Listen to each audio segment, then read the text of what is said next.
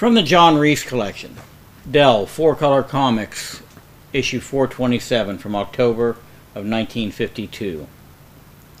Walt Disney's Mickey Mouse and the Wonderful Whizzix.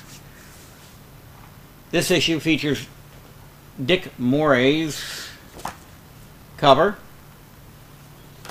and interior art by Dick Moores and Dick Hall.